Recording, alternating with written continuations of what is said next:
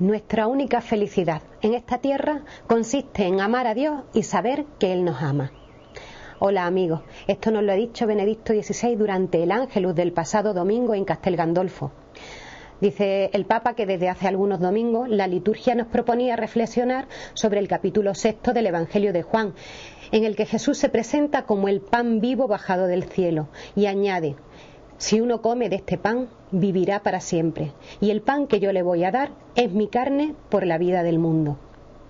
A los judíos, que discuten acaloradamente preguntándose cómo puede éste darnos de comer su carne, Jesús les confirma, si no coméis la carne del Hijo del Hombre y no bebéis su sangre, no tenéis vida en vosotros. El pasado domingo se concluía este capítulo, en el que San Juan refiere la reacción de la gente y de los mismos discípulos escandalizados por las palabras del Señor, hasta el punto de que muchos, después de haberle seguido hasta entonces, exclaman, es duro este lenguaje, ¿quién puede escucharlo? Y desde aquel momento muchos de sus discípulos se volvieron atrás y ya no andaban con él. Jesús, sin embargo, no suaviza sus afirmaciones. Es más, se dirige directamente a los doce diciendo, ¿También vosotros queréis marcharos? Esta pregunta alcanza a los hombres de todas las épocas. También hoy muchos se escandalizan ante la paradoja de la fe cristiana. La enseñanza de Jesús parece dura, demasiado difícil para acoger y para practicar. Entonces hay quien rechaza y abandona a Cristo. Hay quien trata de adaptar su palabra a los modos, desvirtuando su sentido y valor.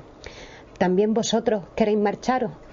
Esta inquietante provocación resuena en el corazón y espera de cada uno una respuesta personal.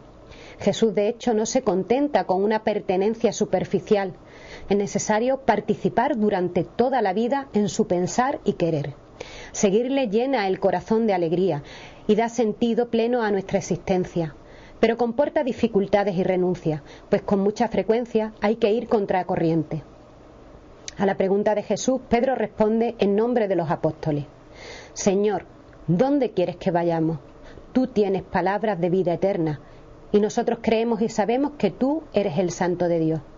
También nosotros podemos repetir la respuesta de Pedro, conscientes de nuestra fragilidad humana, pero confiando en la potencia del Espíritu Santo, que se expresa en la comunión con Jesús. La fe es un don de Dios al hombre y es al mismo tiempo entrega libre y total del hombre a Dios.